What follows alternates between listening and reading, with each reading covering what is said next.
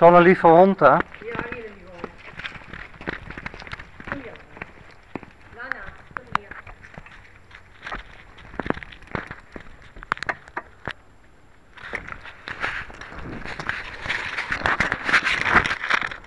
Ja, zou dit dan natuurlijk versleten zijn? Ja, de banden zien nog redelijk uit.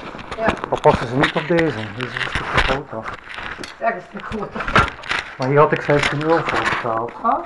Je had lang stilgestaan. Ah. En Dus- heeft hè? Ik dacht als hij gesmeerd is, is hij goed, maar hij trapt door.